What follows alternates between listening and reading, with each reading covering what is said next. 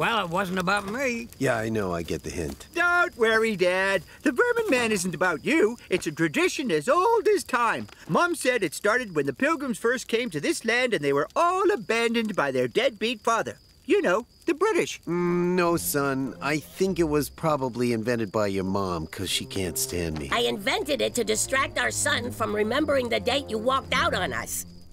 And yes, because I can't stand you. I'm sorry, Richard. I shouldn't have come. I can't make up for what I've done to you.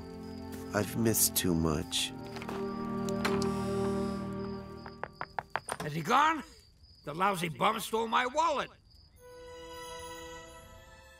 Oh, this is bad. What can we do to cheer him up? Oh, I know. Dad rock.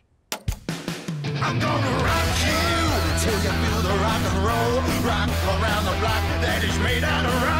I'm gonna rock it back and forth like a rocking horse. Gonna quench your thirst with some rock on the rocks. Wow, there's a lot of promise of rocking, but Yeah, it's like having someone take you around a theme park telling you how much fun you're gonna have, but you never get to go on the rides. well, he's kind of rocking. Just encourage him with a bit of dad dancing.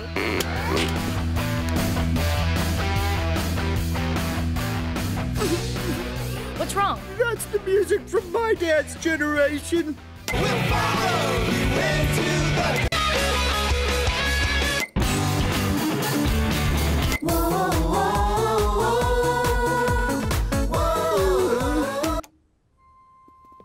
Faker, you only bought the t-shirts for the cool bands, didn't you? Mm-hmm. Come on, let's go to Joyful Burger. For once, you've got our permission to comfort eat. How about a joke? Knock knock. Dad? What? No. So, that's one large fries. I mean, I don't have any real Beef? with my dad. Sure, he's made mistakes. But now there's too much time to catch up. And all this has left me in a Bit of a pickle? While he's gone on to make a Hash brown. of his life. It's so hard when a parent Desserts? you, and now I Donut? know what to do. Every night Ice cream? inside, I just feel so Waffle. I ought to tell him how I feel, but I guess I'm too much of a Boneless chicken! And comfort eating is not going to make me any happier.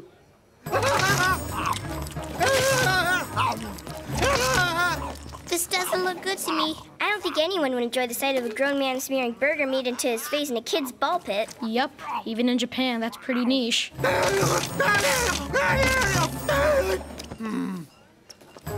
Isn't all this eating dangerous? Meh, this is Richard Watterson, he can take it. Yeah, I was more worried about the staff. It was like shoveling french fries down an elevator shaft. Well, now my brain and my stomach are sad. I've got an idea. This is what I do when I feel blue. I look at the clouds and see that even the darkest ones eventually drift away. And it's fun because they make shapes. Like that one. It looks like a hat. A hat like my father's. Uh, sure. How about that one? It's like a horseshoe. Shoes over walking, like he walked out on me.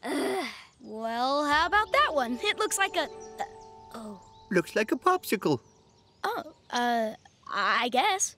Popsicles are cold like the Arctic Ocean, and that's cold because it's got lots of icebergs in it. That's why it's dangerous for ships because icebergs sink ships. And what's the first thing to leave a sinking ship? A rat. and rats are covered in fleas, just like my father fleed from me. Yeah, we got it. He could have stopped at Rat. I just, I, I don't know what else to do. Dad, you just gotta talk to Grandpa Frankie about it. There's no point. He's just a con man. The best I can hope for is that the next time I see him, he doesn't hustle me out of $700 with that ball and cups trick again.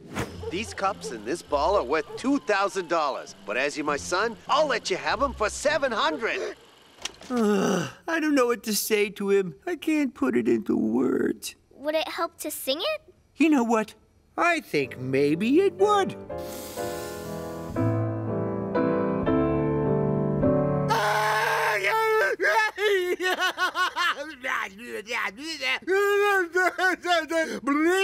Was that clear? But that doesn't mean you can't fix whatever that was between you. I would need to make a time machine. Why? Because if I invented a time machine, my dad would be really proud of me.